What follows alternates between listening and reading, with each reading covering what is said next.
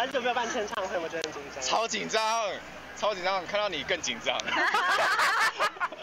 很紧张，真的怕，真的怕，因为我看很多人那个对面上面都有站人这样子，然后今天就嗯 有站人，对，还还还还最最主要是唱歌，看能不能就是更自在。今天算是蛮自在，又又有风这样子。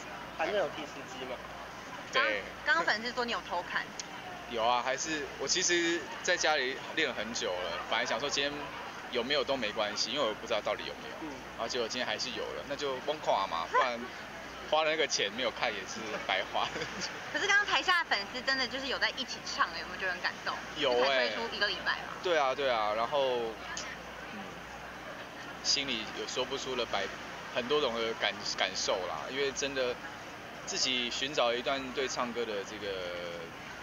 喜好跟热忱，没想到他们依然就是不离不弃这样子，这一点是让我真的很窝心，然后很欣慰，然后也很谢谢他们。他有点 care 号码牌就发五百张。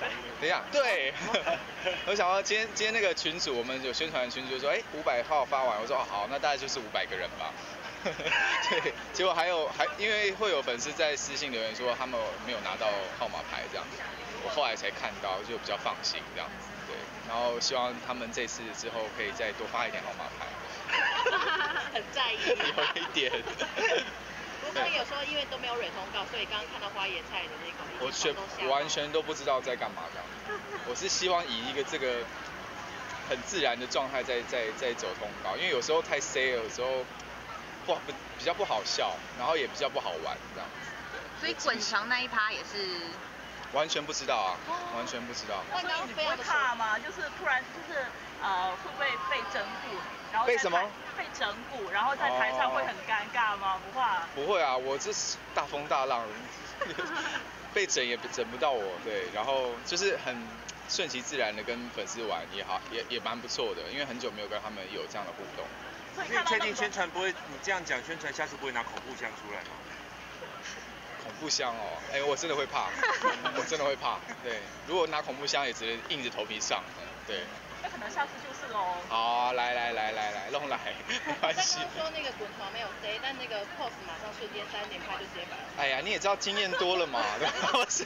床上拍照经验多吗？经验。躺床啊，你每天睡觉也睡了三十多年了，对吧？